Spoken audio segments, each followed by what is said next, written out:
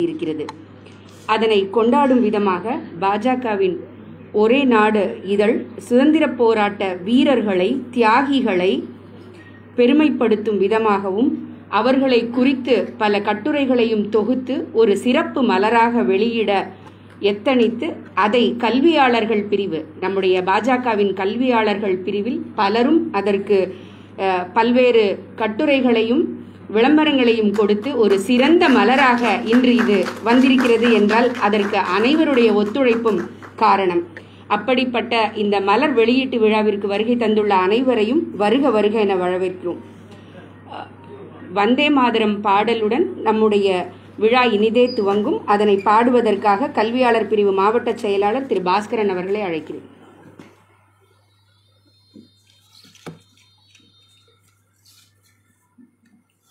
वंदे मातरम्। वंदे मातरम्। सुजलां सुफलां मलयज शीतलां सस्यश्यामलां मातरं वंदे मातरम्। शुभ्रजोष्ण पुलकितयामिनीं पुल्लकुसुमित द्रुमदलशोभिनी सुभाषिणी सुमधुरभाषिणी सुगदां वरदां मातरं वन्दे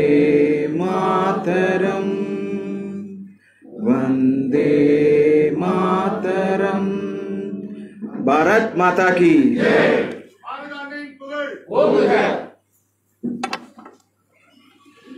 ஒரே நாடு இதழின்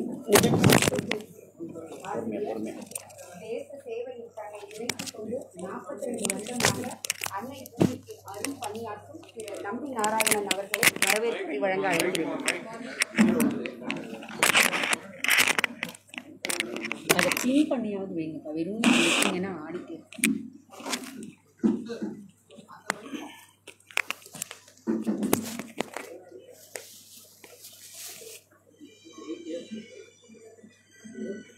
சுதந்திரம் எழுபத்தைந்து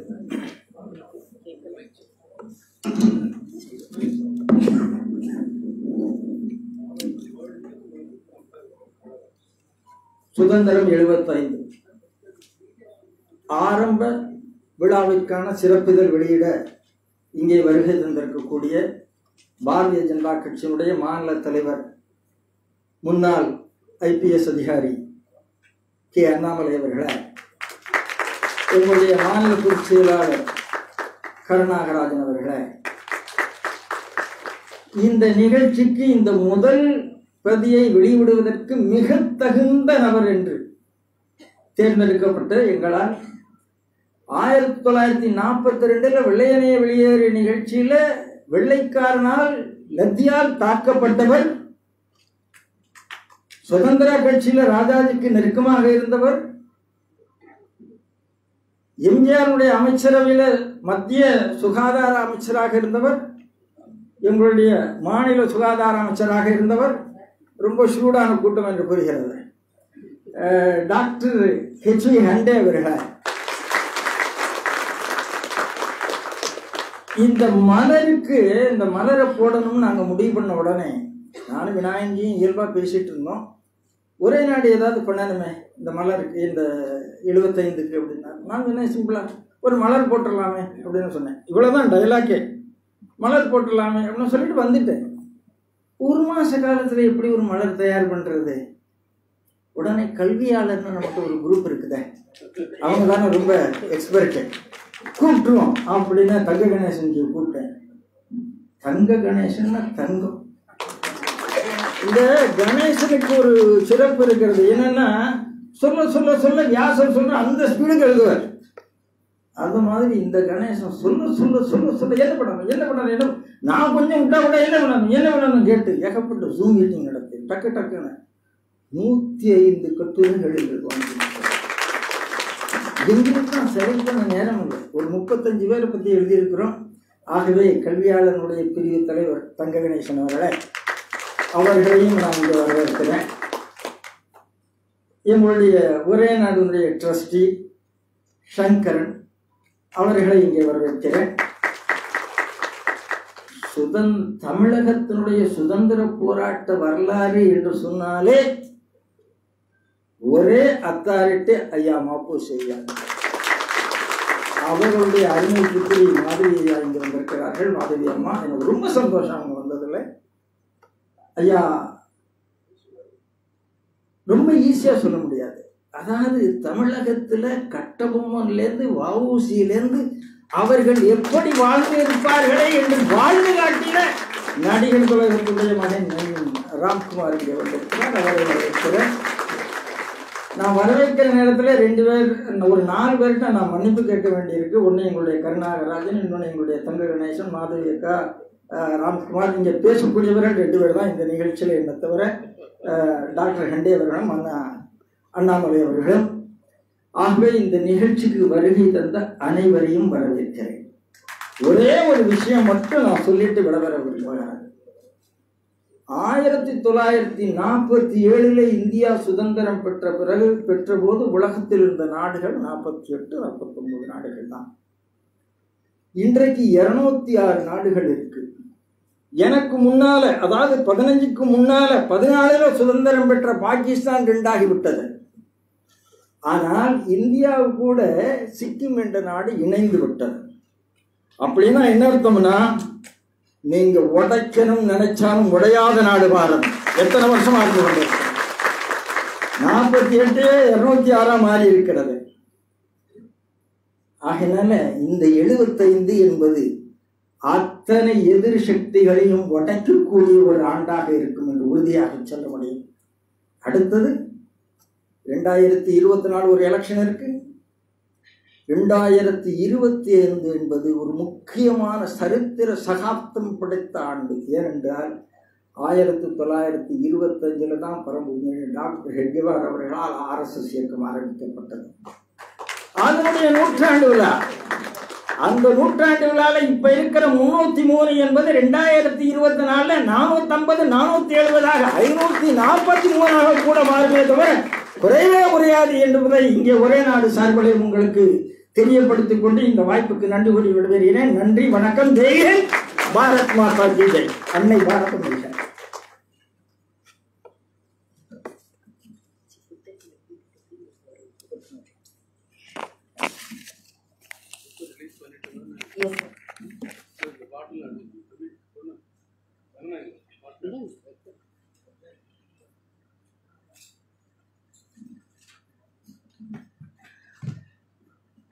புத்தக வெளியீட்டு விழா இந்த சிறப்பு மலரை வெளியிடுவதற்கு இவரை தவிர வேறு யாரையும் நம்மால் யோசிக்க கூட முடியாது. அத்தனை பொருத்தமான ஒரு நபர் நமக்கு இங்கே அமர்ந்திருக்கிறார். நம்முடைய பாஜகவின் மூத்த தலைவர் திரு ஹண்டே அவர்கள் வெளியிட நம்முடைய மாநிலத்தின் இளம் புயல் மாநில தலைவர் திரு அண்ணாமலை அவர்கள் அதனை பெற்றுக்கொள்வார்கள்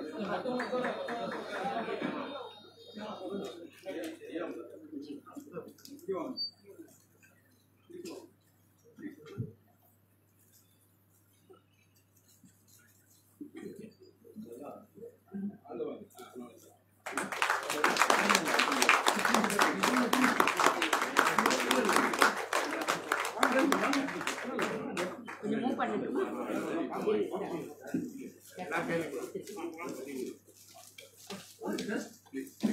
அவர்கிட்ட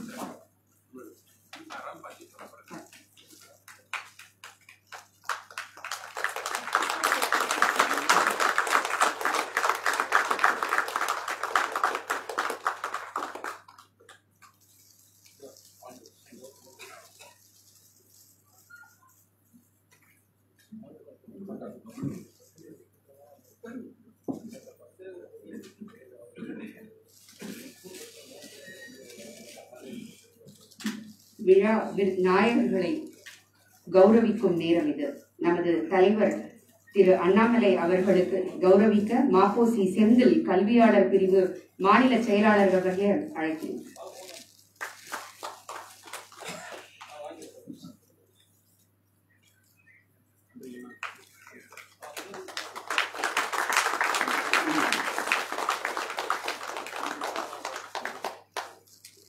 விழாவின் சிறப்பு விருந்தினர் கட்சியின் மூத்த தலைவர் திரு ஹெச் வி கண்டே அவர்களை கௌரவிக்க ஒரே நாடு துணை ஆசிரியர் திரு ராணா அவர்களை அழைக்கிறேன்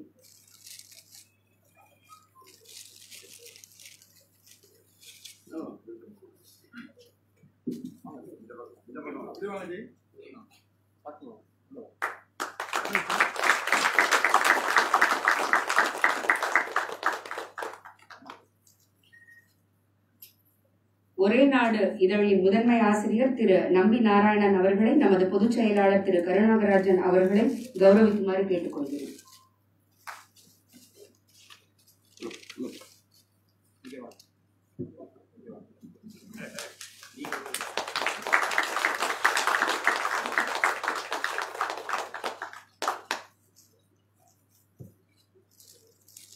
திரு சங்கரன் ஒரே நாடு பத்திரிகையின் ட்ரஸ்டி அவர்கள் பாஜக கல்வியாளர் பிரிவு மாநில தலைவர் அவர்களை கௌரவிப்பார்.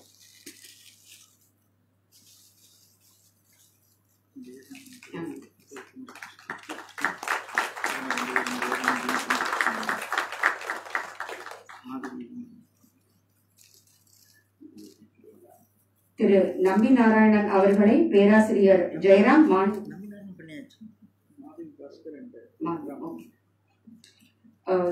பேராசிரியர் ஜெயராம் மாநில த- கல்வியாளர் பிரிவு பொறுப்பாளர் அவர்களை மாப்போசி அவர்களினுடைய மகள் மாதவி அவர்களை கௌரவிக்குமாறு கேட்டுக்கொள்கிறேன்.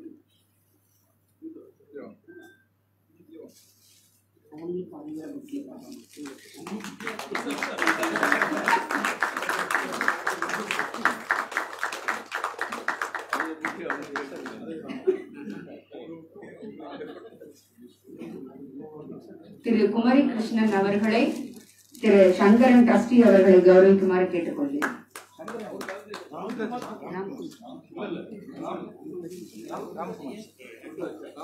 ராம்குமார் சார் அவர்களை கௌரவிப்பார்கள்.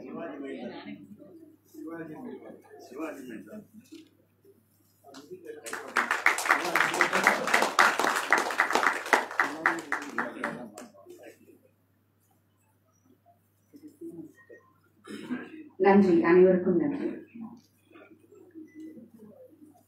அவங்களுக்கு இது கொடுக்குறீங்களா? மைக் கொடுக்குறீங்களா?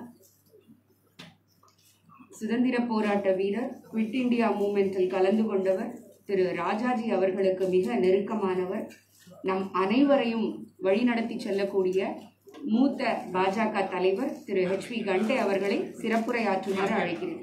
சார் அங்கேயே மைக் கொடுக்கணும்.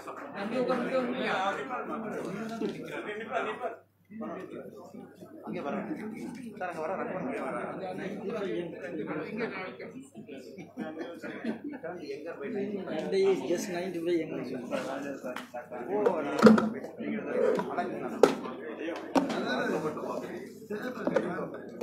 தொண்ணூத்தி ஐந்து வயது இளையவர் இன்று நம்மோடு நின்று கொண்டு பேசுவதற்கு தயாராக இருக்கிறார்.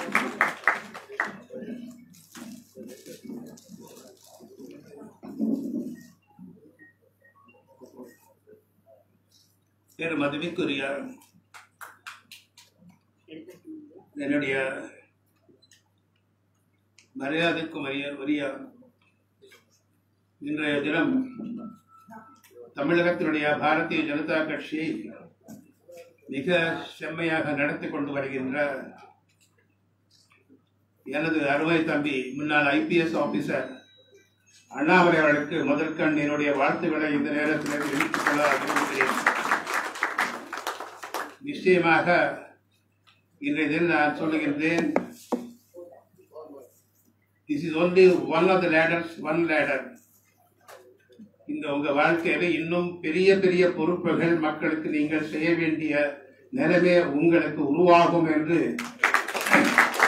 நான் நிச்சயமாக சொல்லியிருக்கேன் உங்கள் கடுமையான உழைப்பு உங்கள் மூலதனம். இந்த நேரத்தில் நிறைய பெரியவர்கள் இங்கே இருக்கிறார்கள். மேடையிலே குறிப்பாக இந்த நிகழ்ச்சிக்கு என்னை வருவதற்கு வாய்ப்பளித்தது என்னுடைய நண்பர் நம்பி நாராயணன் அவர்கள். அவர்களுக்கு என்னுடைய நன்றியை தெரிவித்துக் கொள்கிறேன். அதே மாதிரியாக இங்கு கரு நாகராஜன் அவர்கள் வெரி குட் ஸ்பீக்கர் அவருடைய பேச்சு எத்தனை பேர் கேட்டீங்க? அருமையாக பேசுவார். நல்ல கருத்துகள் நிறைந்த இது நல்ல வாய்ஸ் இன்னும் நிறைய நீங்க செய்யணும் நிறைய செய்யணும். ஆஹ், எதிர்பார்க்கிறோம். we are all giving the baton to you you pick it up and go ஆக அந்த மாதிரியாக பேசிட்டோம். ஆ? இப்படி யங்ஸ்டர்ஸ் சந்தோஷமா இருக்கு பார்க்கும்போது. என்னுடைய மகனோ பேரனையோ பார்த்த மாதிரியாக இருக்கிறது அதே மாதிரியாக நடிகர் திலகம் சிவாஜி கணேசனுடைய வீட்டிலே நான் சாப்பிட்டு இருக்கின்றேன் ரொம்ப நான் பழகி இருக்கின்றோம் நிறைய ஜோக்ஸ் நிறைய எக்ஸ்சேஞ்ச் பண்ணியிருக்கிறோம். ஆக அவருடைய மகன் ராம்குமாரை பார்க்கும்போது ரொம்ப மகிழ்ச்சியாக இருக்கிறது. அதே மாதிரியாக இங்கே அம்மையாருக்கு தெரிஞ்சிருக்காது மாப்போசிக்கும் எனக்கும் என்ன எந்த அளவுக்கு உறவு இருக்கிறது என்பது அவங்களுக்கு தெரிஞ்சிருக்க காரணம் இல்லை. இந்த ஜென்ரேஷன் கேப் நிறைய நான் அவரை பற்றி எழுதியிருக்கின்றேன். அவர் என்னை பற்றி மேலவிலே பேசியிருக்கிறார்கள். நான் மேலவிலே முதல்ல சுயேட்சை உறுப்பினராக அறுபத்தி நாலு பட்டதாரி தொகுதியில் வந்தேன். பிறகு எழுபத்தி எட்டு மூன்று முறை நாம் மேலவை கலைக்கின்ற நேரத்தில் மாப்பகுதி தலைவராகவும் நான் அப்பொழுது அமைச்சராக இருந்தேன். ஆகவே நிறைய தொடர்பு எனக்கும் மாப்பசி அவர்களுக்கும் இங்கே இருக்கிறார்கள். மதிப்பிற்குரிய சங்கர் அவர்கள் இங்கே வந்திருக்கிறார்கள். தங்க கணேசன் வந்திருக்கிறார்கள். இன்னும் நிறைய நண்பர்கள். நிறைய நேரத்தை நான் வீணாக்கவில்லை. நான் சொல்லுவதை எல்லோரும் கொஞ்சம் சற்று கூர்மையாக கவனிக்க வேண்டும் என்று கேட்டுக்கொள்கிறேன். ஏன்னா முதல்ல வந்து ஒரு விஷயத்தை சொல்கின்றேன். ஃபர்ஸ்ட் பாயிண்ட் நீங்கள் வந்து ஒரே நாடு பத்திரிகையை ரொம்ப லேசாக நினைக்காதீங்க.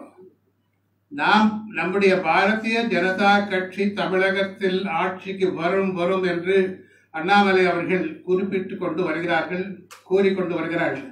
அது மெய்ப்பிக்க வேண்டும் என்றால் அதற்கு மிக முக்கியமான போர் கருவி. ஒரே நாடு பத்திரிகை நம்முடைய நம்பி நாராயணுடைய ஒரே நாடு பத்திரிகை.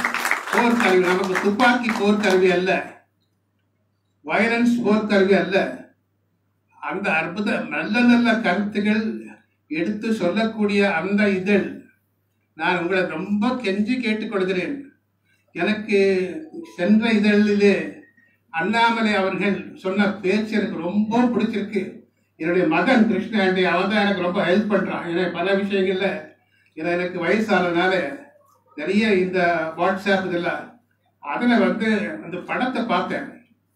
அவர் எனக்கு இனிமேல் மாலை எல்லாம் கொடுக்கக்கூடாது. நீங்கள் எனக்கு ஏதாவது செய்யணும்னு நினைச்சீங்கன்னா ஒரே நாடு பத்திரிகைக்கு சந்தா கொடுப்போம். இப்பவும் சொல்றேன். நீங்க இன்னும் யாரு யாருக்கும் புரியல. நீங்க இன்னும் பழைய வரலாறு பார்க்கல நீங்க. அனைத்திந்திய அண்ணா திராவிட முன்னேற்ற கழகத்தினுடைய போர் கருவி அண்ணா பத்திரிகையாக இருந்தது. அதே மாதிரி திராவிட முன்னேற்ற கழகத்தினுடைய போர் கருவி உங்களுக்கு தெரியும். ஆகவே நான் சொல்லுகின்றேன் இந்த வந்து ஐம்பது லட்சம் பேர் இந்த சந்தாதாரராக இருந்தால் டேக் இட் ஃபார் கிராண்டட் அடுத்த ஆட்சி பாரதிய ஜனதா கட்சியினுடைய ஆட்சி நாள் தமிழகத்தில். அப்ப நான் அங்கே பார்ப்பதற்கு இருப்பதா இல்லை எனக்கு தெரியாது. அதாவது நிச்சயமாக அது நடக்கும். ப்ரொவைடட் இது செஞ்சீங்கன்னா. ஆகவே மீண்டும் மீண்டும் please I pick up you உங்க நான் வந்து காலில் விழுந்து வணங்கி கேட்குறேன். ப்ளீஸ் நீங்கள் சந்தாதாரர் ஆகுங்க. வேற ஒன்றும் பெரிய சுமை கிடையாது. நீங்கள் ஒவ்வொருத்தரும் அஞ்சு பேருக்கு அஞ்சு சந்தாதாரரை உருவாக்குங்க. பெரிய அளவில் நீங்கள் வந்து அது அலட்சியமாக இருக்கிற மாதிரி எனக்கு தெரியுது. அது வந்து முக்கியமான விஷயம். நான் வந்து இண்டிபெண்ட்டாக கிராஜுவேட் கான்ஸ்டியூன்சியில் சென்னையில் என் பேரே வாயில் நுழையாது. அப்படிப்பட்ட நேரத்தில் நான் எப்படி வெற்றி பெற்றேன் கம்யூனிகேஷன் ஏல் முதலியார் அண்ணாருடைய அறிவழகன் காமராஜருடைய பத்ராச்சாரி ராஜாஜனுடைய சேஷன் எல்லாரும் டெபாசிட் கொஞ்சம் நான் வின் பண்ணேன். நான் ஆர்டினரி ஃபெலோ நம்ம என் வீட்டில் வெங்கட்ரமணாங்கிறது என்னுடைய பேர் வெங்கட்ரமணா ஆர்டினரி ஃபெலோ நம்ம வீட்டில் but I work hard communication ஒவ்வொருத்தருக்கும் போஸ்ட் கார்டா அது இது எல்லாரையும் மெம்பராக சேர்த்தேன் ஆறு மாதம் ஒவ்வொருத்தரும் வீட்டுக்கு போய் ஒரு பேஷண்ட் வருவான் அவங்க கையில் அஞ்சு ஃபார்ம் கொடுப்பேன் அவன் பத்து கிராஜுவேட்ஸ் ஒரு இதில் ஓட்டர் லிஸ்ட்டில் சேர்த்துட்டு வருவான் தட் இஸ் ஹவ் ஐ அதுக்கப்புறம் எனக்கு ராஜாஜி கூப்பிட்டாரு. காமராஜ் அது வேற விஷயம். Once I make the mark அப்புறம் எல்லாரும் கூப்பிடுவாங்க.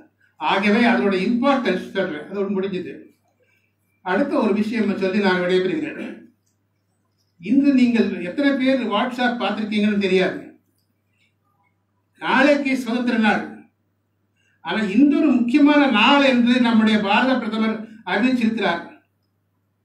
அது எத்தனை பேர் நீங்க பார்த்துருக்கீங்கன்னு தெரியாது.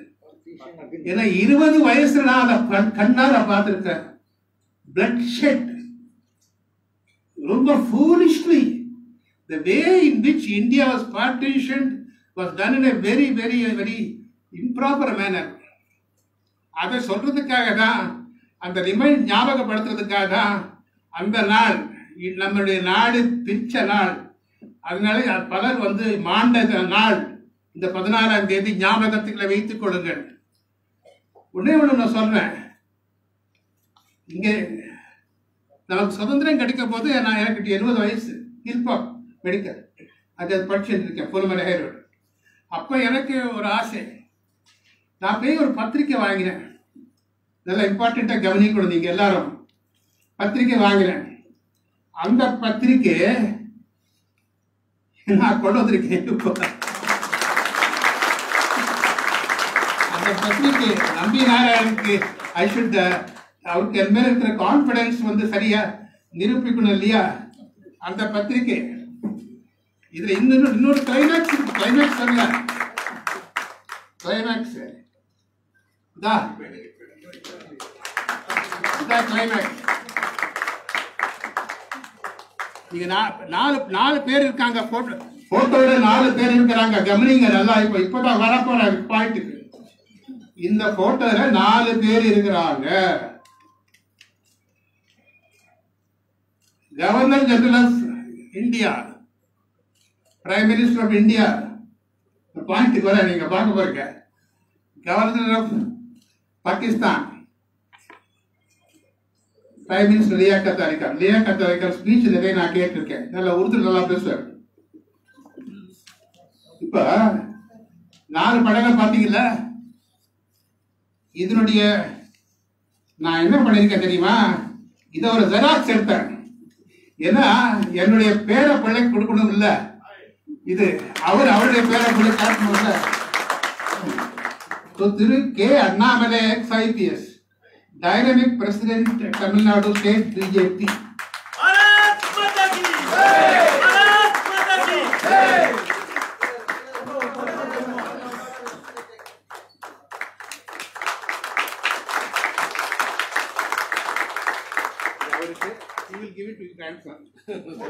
இன்னும் கொஞ்ச நாளுக்கு அப்புறம் ஒரிஜினல் கூட உங்க கையில கூட இப்ப கிளைமேக்ஸ் இப்பதான் கிளைமேக்ஸ் வரப்போகுது. நீங்க நல்லா யோசனை பண்ணணும். இந்த நாலு படங்கள் கொஞ்சம் தயவு செய்து எல்லாம் நல்லா யூஸ் யுவர் பிரெயின்ஸ் நாலு படம் பாத்தீங்க. பாகிஸ்தான் இன்னைக்கு முடிஞ்சு போச்சு. ஃபோர்டீன்த் அவங்களுடைய அந்த ஃபோர்டீன்த் மீட்டர் அந்த இதுக்கு ப்ரீவியஸ் டே அங்கே மவுண்ட் பேட்டன் போயிருக்காரு.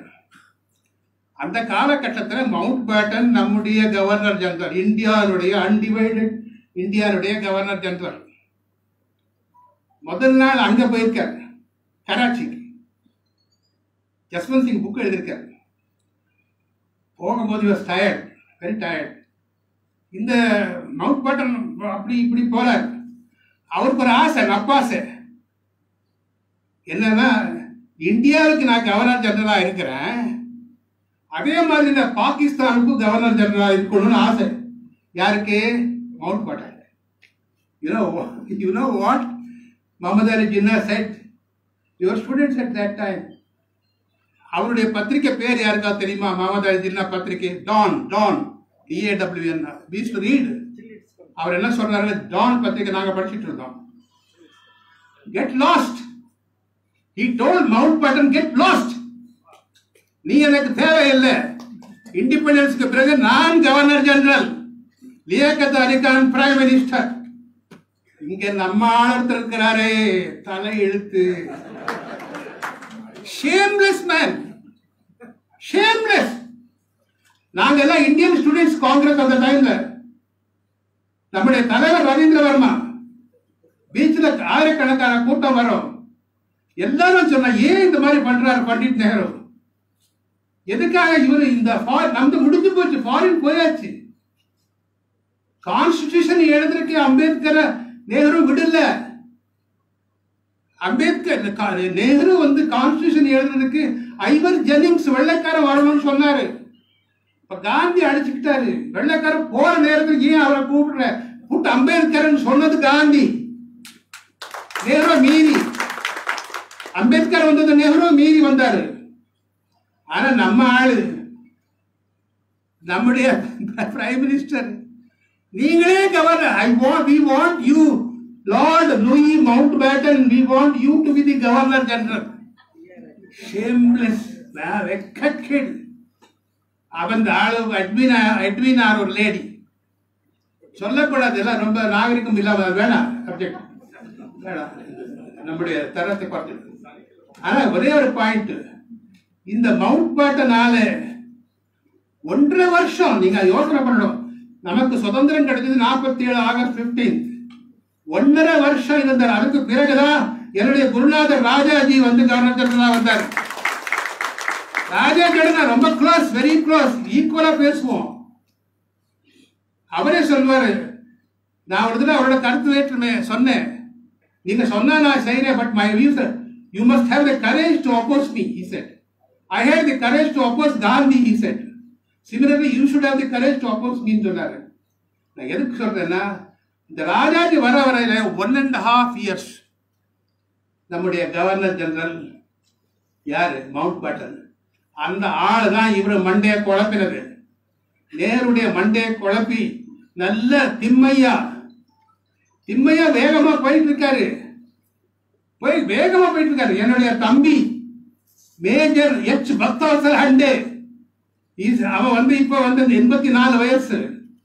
அவன் திண்மையா கீழே வேலை செஞ்சவன் அவன் பங்களாதேஷ் வார் இப்ப இன்னும் இரண்டு மா- மாசத்துல ஐம்பது ஆண்டுகள் அங்கே மேஜரா வேலை செஞ்சவன் அவன் சொல்லுவான் திம்மையா போயிட்டே இருக்காரு. சீஸ் ஃபயர் மவுண்ட் பேட்டன் நேருக்கு சொல்லி நேரு ஸ்வரன் சிங்குக்கு சொல்லி அந்த ஸ்வரன் சிங் அவன் வந்து டிஃபென்ஸ் மினிஸ்டர் சீஸ் ஃபயர் அப்ப திம்மையா கத்துறாரு நாங்க we are going to Rawalpindi tomorrow கத்துறாரு அப்புறம் உடனே அந்த phone Jawaharlal I am prime minister Jawaharlal Nehru speaking ceasefire You know what Tilmaya told my brother when they were all youngsters? We seized but Pakistan fired. What a shame. நான் இது யார் idea Mountbatten idea the wretched Mountbatten அது இல்லை அது மாத்திரம் இல்ல it was taken problem was Kashmir problem was taken இங்கே கொண்டு போனாங்க ஐநா சபைக்கு. அது மவுண்ட் பேட்டன் பிரஷர் நீங்க படிச்சீங்களா இல்லையே தெரியாது எனக்கு. அமித்ஷா அவர்கள் ஹோம் மினிஸ்டர் அருமையா பேசினாரு. அது வந்தது டிஸ்பியூட்டட் ஏரியான்னு சொல்லி எடுத்துட்டு போனாரு. நேரு. அமித்ஷா தலையடிச்சுக்கிட்டாரு பார்லிமெண்ட்ல இட் இஸ் ஆக்கியபைடு ஏரியான்னு எடுத்துட்டு போயிருக்கணும். So today finally Pakistan occupied Kashmir என்கிற அந்த பகுதி. நம்ம அனு- பாகிஸ்தான் கையிலே இப்பொழுது கைவசமாக இருக்கிறது என்றால் அதற்கு காரணம் யாரு? நேரு. அதற்கு காரணம் யாரு? மவுண்ட் பேட்டன் ஆகவே இந்த நேரத்தில் இதையெல்லாம் நாம் சிந்திக்க வேண்டிய ஒரு கட்டத்தில் இருக்கிறோம் என்று சொல்லி இந்த வாய்ப்பு எனக்கு கொடுத்திருக்கக்கூடிய நம்பி நாராயணன் அவர்களுக்கு என்னுடைய வணக்கத்தையும் சொல்லிவிட்டு நான் விடைபெறுகிறேன். வணக்கம்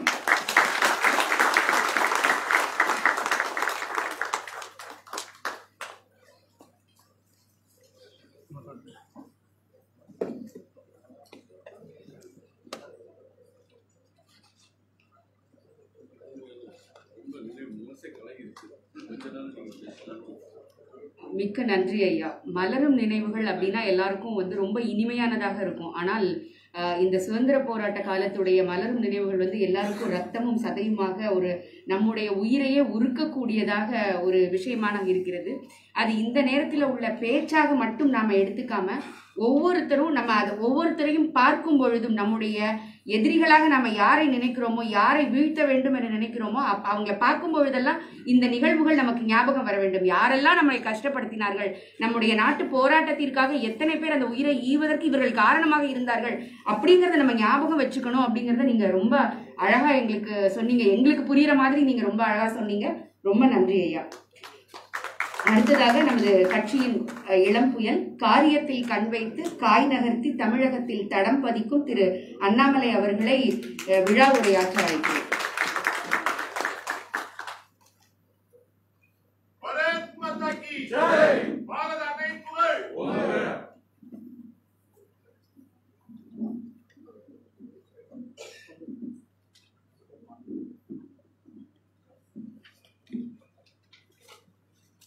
வந்தே மாதரம்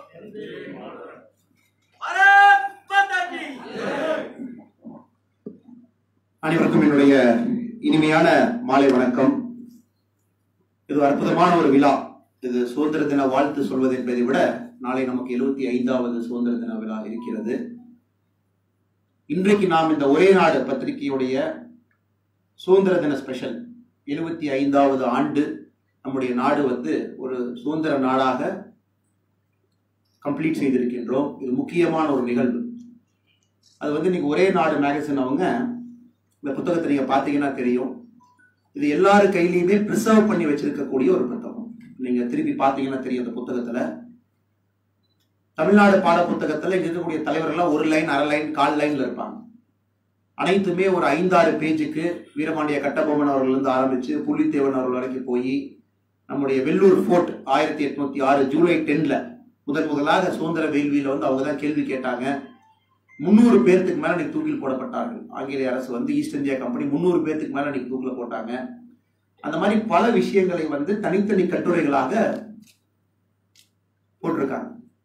ராஜாஜி அவர்கள் காமராஜர் அவர்கள் சுதந்திரத்திற்கு பின்பு முக்கியமான தலைவர்கள் யாரெல்லாம் இருந்தாங்க அவங்க சுதந்திரத்தின் போது எப்படியெல்லாம் பாடுபட்டாங்க.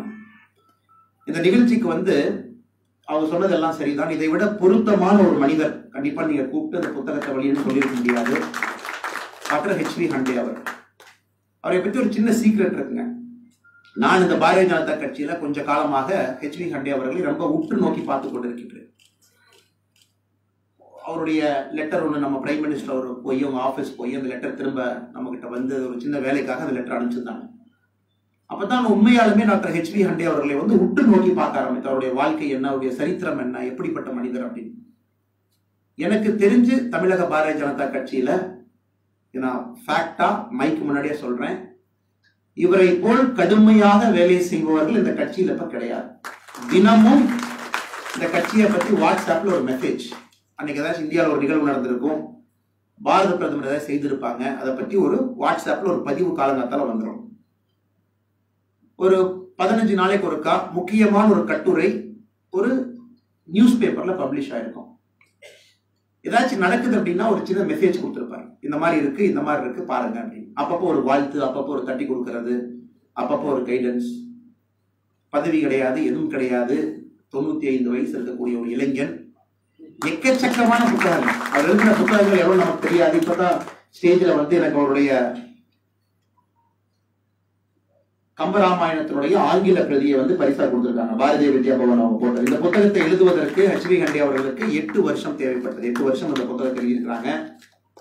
ஆர்டிகல் முன்னூத்தி எழுபதை பத்தி நிறைய விஷயங்கள் எழுதி புத்தகமா வச்சிருக்காங்க. அந்த புத்தகத்தை நாமும் கூட என்னுடைய ஃபவுண்டேஷன் சார்பாக அதை வாங்கி தமிழகத்தில் இருக்கக்கூடிய அனைத்து கல்லூரிகளுக்கும் கொடுக்க வேண்டும் என்று அவருடைய புத்தகத்தை நம்ம கொடுத்து விட்டுருக்கோம் எதற்கு நான் திரும்ப திரும்ப சொல்றோம் அப்படின்னாங்க பாரதிய ஜனதா கட்சி வந்து ரொம்ப வித்தியாசமான ஒரு கட்சி. மிக மிக வித்தியாசமான ஒரு கட்சி. சேர்ந்த கொஞ்ச நாள்லயே நான் புரிஞ்சுக்கிட்டது இந்த கட்சியில யார் ஆத்மார்த்தமாக வேலை செய்கின்றார்களோ எந்த ஒரு எதிர்பார்ப்பும் இல்லாம வேலை செய்கின்றார்களோ இந்த பாரத அன்னையை அவங்களை கூப்பிட்டு உட்கார வச்சு தேவையான பொறுப்புகளை கொடுத்து மக்களுக்கு பயன்படுற மாதிரி வச்சது.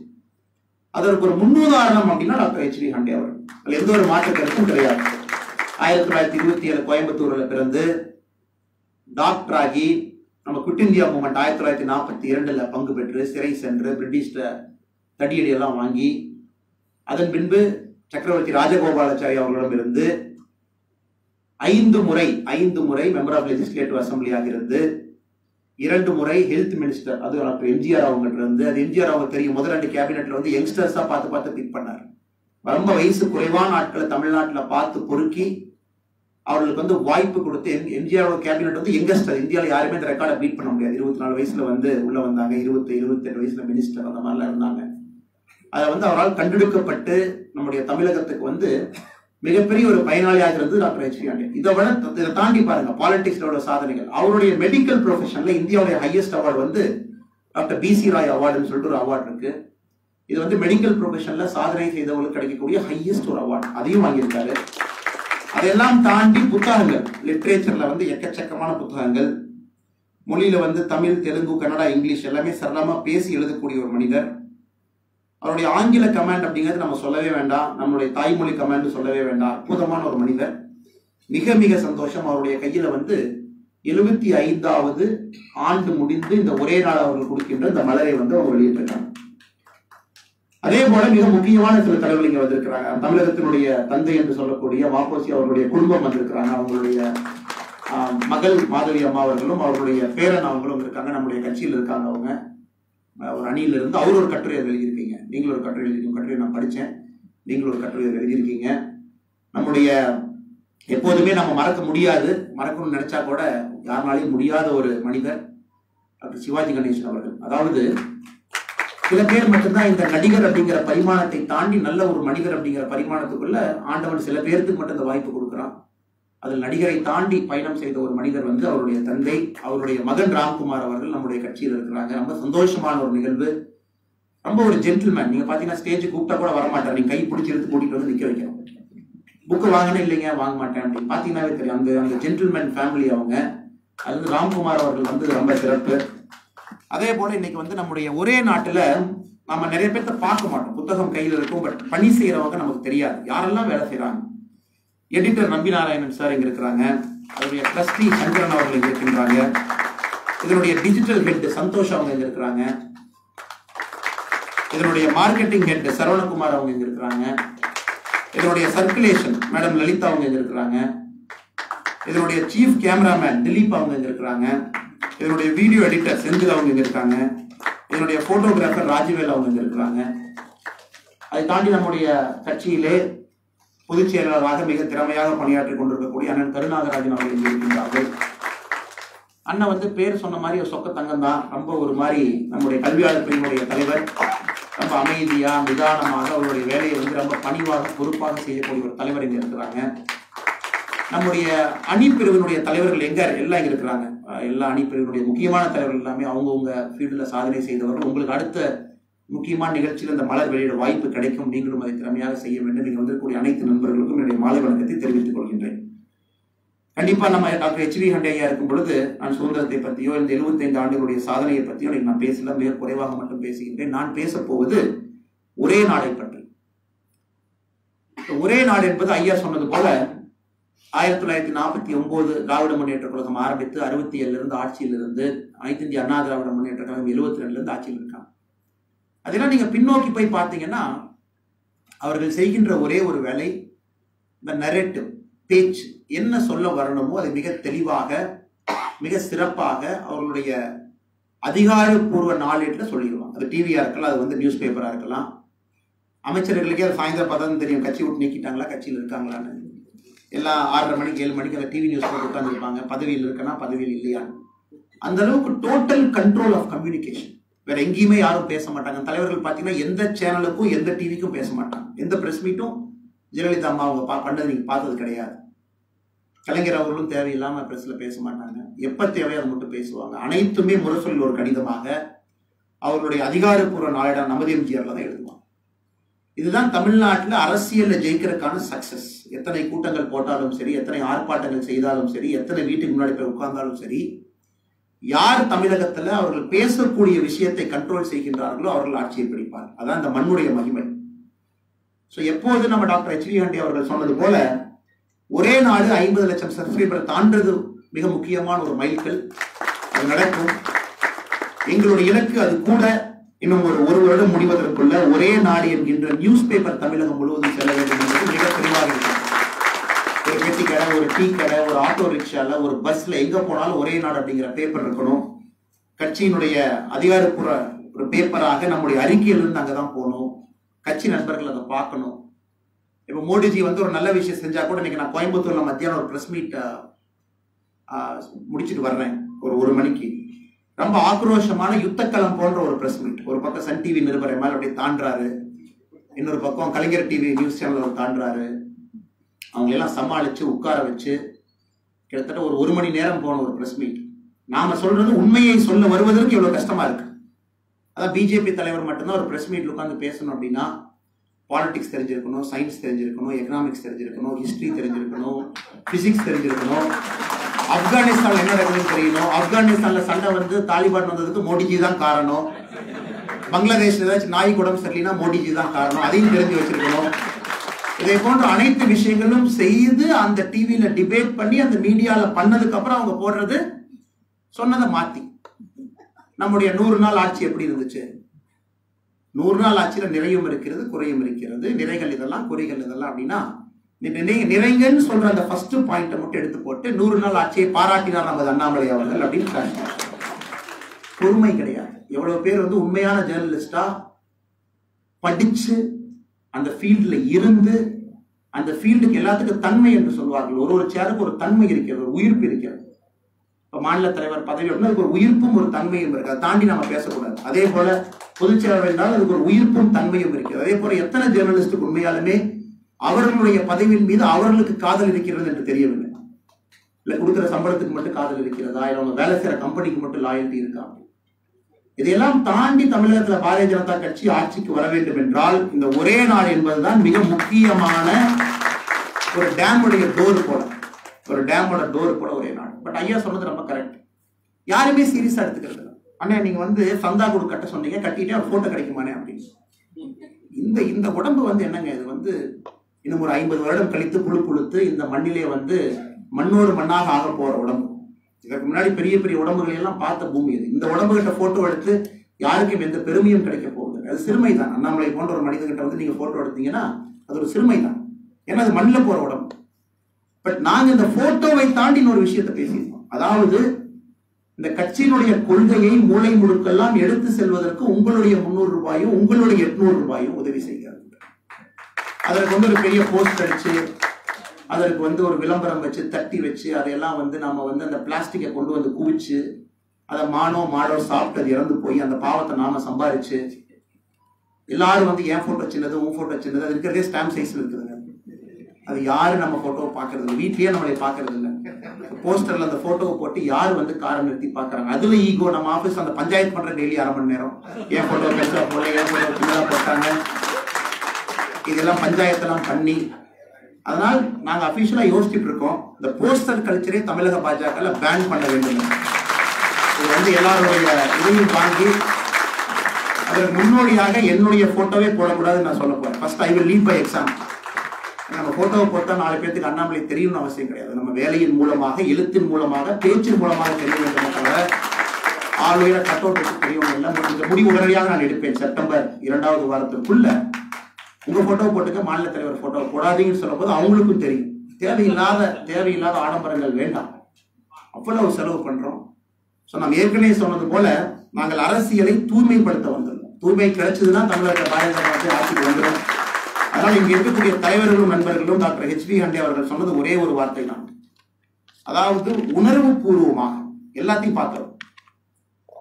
முகமது அலி ஜின்னால இருந்து ஜவஹர்லால் நேருல இருந்து எல்லாத்தையும் பார்த்து எல்லா கால அரசியலையும் பார்த்து சுத்தமான மோசமான அநாகரிகமான அரசியலையும் பார்த்து அமைதியாக தொண்ணூத்தஞ்சு வயசு உட்காந்து என்ன நடக்குன்னு பார்த்துட்டு இருக்காங்க. திரும்ப தமிழகத்துல பாரதிய ஜனதா கட்சி வர வேண்டும் என்றால் அறமான அரை அறப்போரை கையில் எடுத்து நம்முடைய பேச்சின் மூலமாக சித்தாந்தத்தின் மூலமாக எழுத்து மூலமாக வர வேண்டும். மக்கள் படிச்சு மாறும். நம்ம கண்டிப்பா பொதுக்கூட்டம் போடல யாரும் ஓட்டு போறது கிடையாது. நாமளே நம்மளை ஏமாத்திக்கிறது தான் உண்மை. நம்மளை விட பெரிய பொதுக்கூட்டம் போடுற கால் இருக்கு. அதிகமா பணம் கொடுக்குற கால் இருக்காங்க. அதிகமா ஃப்ளட் லைட் வைக்கிற கால் இருக்காங்க. ஆளுகிற கட் அவுட் நீங்க போட்டீங்கன்னா ஈஃபில் டவரோட கட் அவுட் வைக்கிற கட்சி இருக்கு. ஸோ அவங்களோட கம்ப்ளீட் பண்றது வேஸ்ட் ஆஃப் டைம் அதனால் மாற்றி யோசின்னு தமிழகத்தில் சொல்லுவாங்க. மாற்றி யோசிக்க வேண்டிய நேரம் பாரதிய ஜனதா கட்சிக்கு வந்துவிட்டது. அதில் மிக முக்கியமான இந்த ஒரே நாடு இந்த ஒரே நாடு என்பதுதான். அதற்காகத்தான் அடுத்து நடக்க போற ரீஆர்கனைசேஷன்ல ஒரு துணைத் தலைவரை ஒரே நாட்டுக்கு கொடுக்க போறோம். ஒரு துணைத் தலைவருடைய வேலை என்பது அவருடைய பெர்ஃபார்மன்ஸ் என்பது ஒரே நாட்டினுடைய சப்ஸ்கிரிப்ஷனை வச்சு தான் ஒரு பெர்ஃபார்மன்ஸை மெஷர் பண்ணும். நானும் ஒரு துணைத் தலைவர். வி ஆர் நாட் இன்ட்ரெஸ்டட் நீங்க துணைத் தலைவர் என்ன? நீங்க பொதுச் செயலாளர் என்ன? நீங்க செயலாளர் என்ன? எந்த மனிதன் வந்து ஒரே நாட்டை கையில் எடுத்து சேலஞ்சிங்கா எடுத்து நான் வந்து சர்க்குலேஷனை இரட்டிப்பு பண்ணிட்டேன் ஐம்பது லட்சம் மீட் பண்ணிட்டேன்னா இந்த கட்சி கண்டிப்பா கால் விழுந்து வர கூப்பிடும். ஏன்னா ஹெச்பி டாக்டர் ஹண்டி அவங்க சொன்னாங்க நாங்க கால் விழுந்து கூப்பிடுறோம் இல்லைங்க நாங்க தான் உங்க கால் விழுவோம் அதற்காக டீமை தயார் செஞ்சுட்டு இருக்கோம். ஸ்லோவான வேலை உடனடியான வேலை கிடையாது. நானும் இந்த ஒரு மாத காலம் இந்த பறவை பதவியில் இருந்து விட்டேன். ஒரு விஷயத்தில் மிக தெளிவாக இருக்கின்றேன். வந்த காரியத்தை செய்ய முடிக்க வேண்டும். அது என்ன ஸ்ட்ரகிள் ஆனாலும் சரி என்ன போராட்டம் ஆனாலும் சரி குவாலிட்டியான தலைவர்கள் மூளையெல்லாம் ஒடுக்கி கிராம கிராமத்தில் இருந்து கண்டுபிடித்து இந்த போஸ்டர்ல இருந்தால் மட்டும்தான் மாநில தலைவர் பார்ப்பார் அப்படிங்கறதெல்லாம் உடைத்து ஒரு ஒரு சாதாரண மனிதனையும் கண்டுபிடித்து அவர்களை மேலே கொண்டு வந்து செய்கின்ற வேலைக்கு அங்கீகாரம் கொடுக்கும் பொழுது இந்த கட்சியுடைய வளர்ச்சியை யாராலும் தடுக்க முடியாது. முக்கியமாக அதை செய்வார்கள். அதை செஞ்சு நீங்க ஒரு ஆறு மாசம் கழிச்சு பாரதிய ஜனதா கட்சியை பார்த்தீங்கன்னா உங்களுக்கு தெரியும். தலைவர்கள் எப்படி இருப்பாங்க அப்படின்னு. யங்ஸ்டர்ஸாக இருக்கலாம் வேற மாதிரி இருக்கலாம்.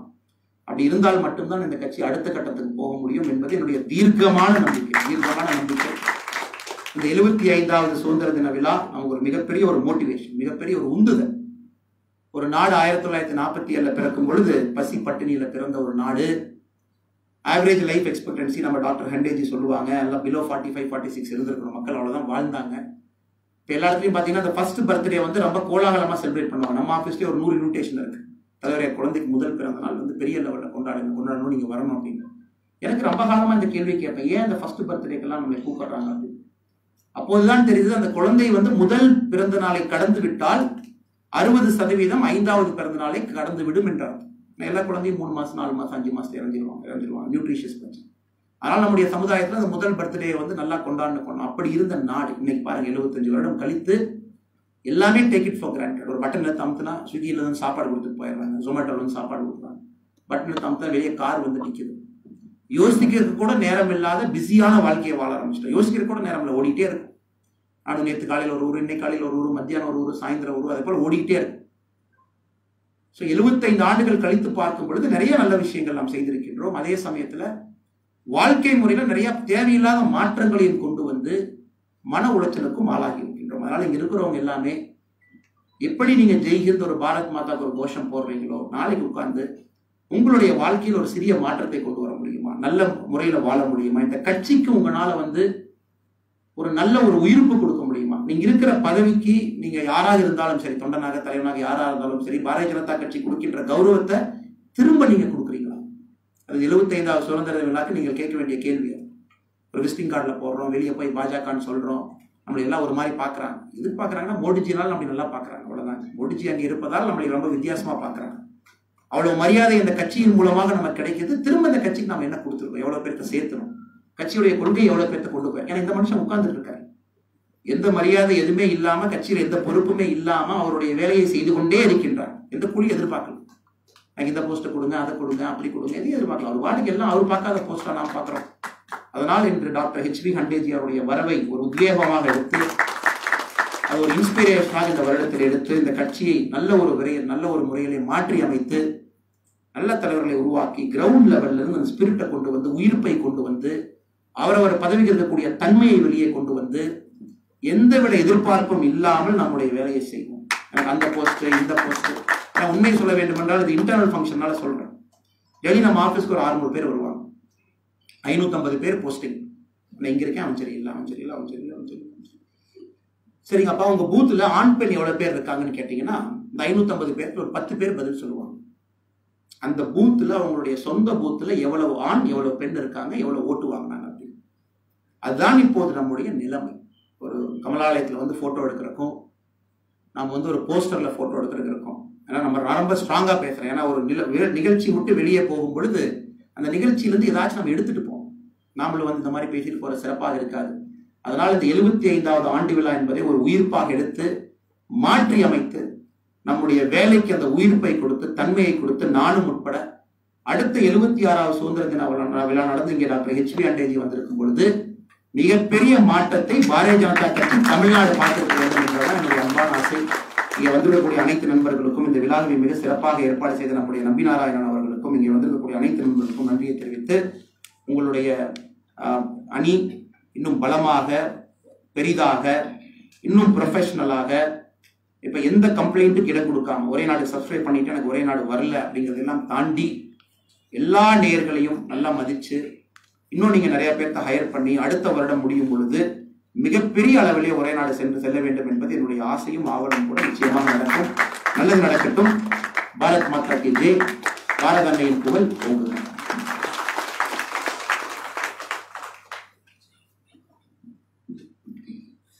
மிக்க நன்றி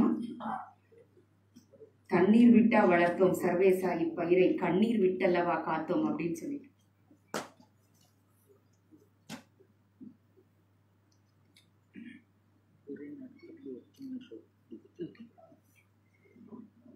ஒரே நாடு பற்றிய ஒரு சின்ன கிளிப்பிங் உங்க அனைவருக்காகவும் இந்த சுதந்திர தினத்தை கொண்டாடும் தருணத்தில்.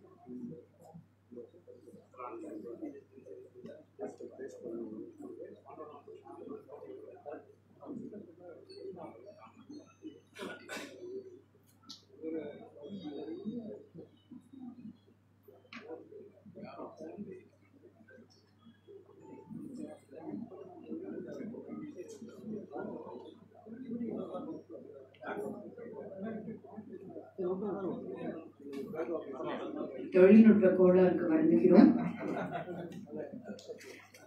இந்த மத்திய அரசு நம்ம நம்முடைய பாரதிய ஜனதா கட்சியினுடைய மத்திய அரசு ஆட்சிக்கு வந்த பிறகு ஸ்வச் பாரத் ஆரம்பித்து பல ஆண்டுகள் ஆனாலும் தமிழகத்தில் நமது கட்சிக்குள் ஸ்வச் பாரத் செய்ய வேண்டும் என்றும் அதன் மூலமாக நம்முடைய செயல்கள் மூலமாகத்தான் நம்முடைய பெயர்கள் நிலைநாட்டப்பட வேண்டும் என்றும் இன்றைய தினத்தில் வலியுறுத்திய நமது தலைவருக்கு மிக்க நன்றி.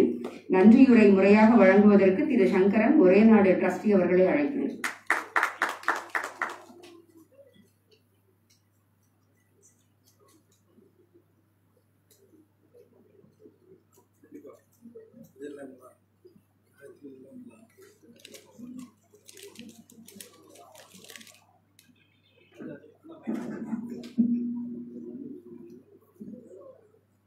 அனைவருக்கும் வணக்கம். நன்றி மறப்பது நன்றன்று நன்றல்ல நன்றே மறப்பது நன்று. அதன் விளைவாக இப்பொழுது நன்றி நவிழல் என்ற இடத்திற்கு வந்திருக்கின்றேன். உங்களுடைய நேரம் குறைவாகவே எடுத்துக்கொள்வதற்காகத்தான் அனைத்து தலைவர்களும் ஒரே நாடு பத்திரிகையினுடைய முக்கியம் அதனுடைய சந்தாதாரர்களுடைய அதிகரிக்க வேண்டிய முக்கியம். இவைகளை பற்றி வெறி வெகு விரிவாக எடுத்து சொல்லியிருக்கிறார்கள். அவர்கள் அனைவருக்கும் எனது நன்றியை ஒரே நாடு குழுமத்தின் சார்பாக தெரிவித்துக் கொள்கின்றேன். இந்த விழா எழுபத்தைந்தாவது சுதந்திர தின விழா சிறப்பு ஆரம்ப விழா சிறப்பு மலர். ஆரம்ப விழானா உடனே நீங்க நினைச்சுக்கலாம். முடிவு விழாலையும் ஒரு சிறப்பு மலர் வரும்.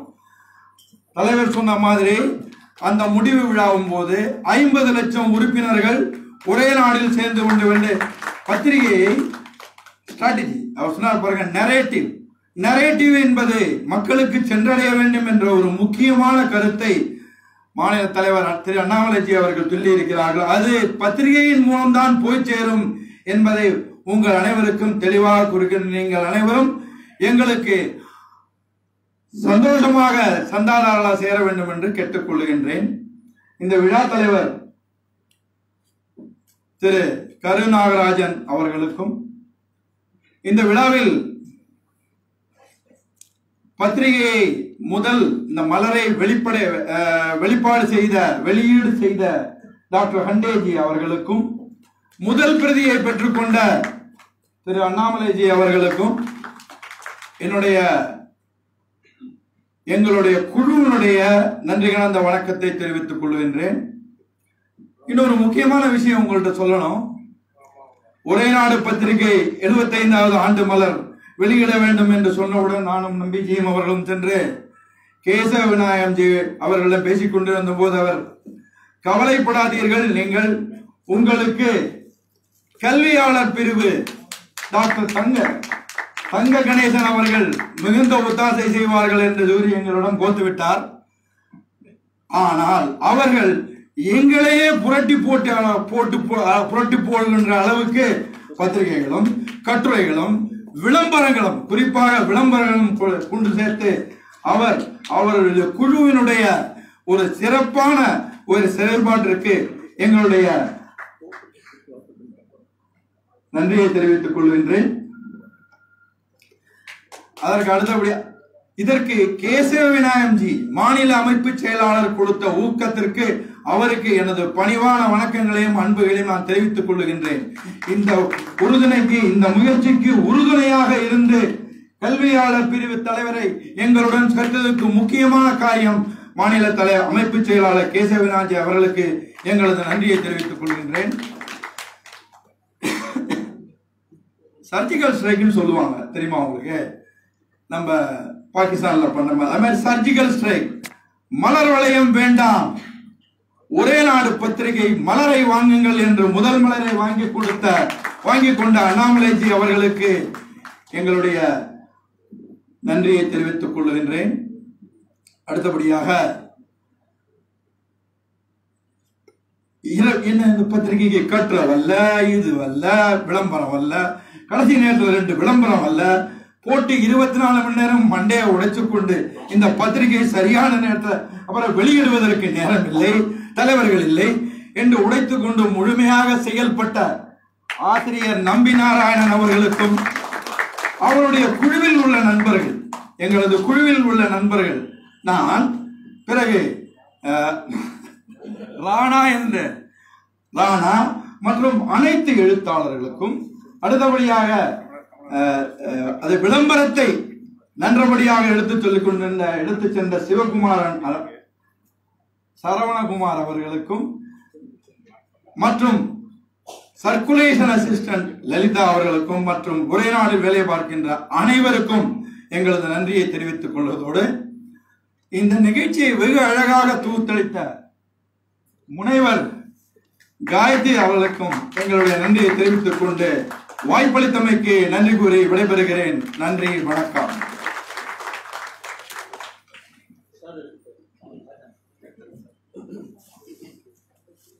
நாட்டுப்பண்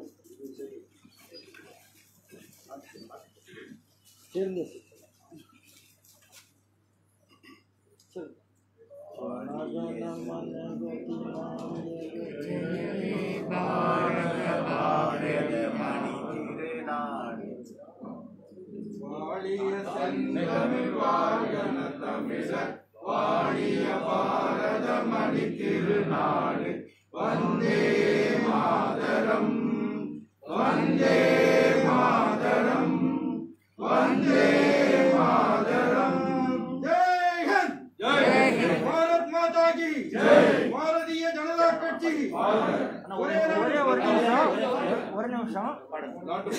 அபிஷியலா இண்டிபெண்டன்ஸ்னுடைய செவன்டி ஃபைவ் பாரதிய ஜனதா கட்சியினுடைய நிகழ்ச்சிகள் வாலிய சந்திமலோட முடியும். இது சுதந்திர தின மலர் என்பதால் தேசிய தான் தேசிய கீதம்.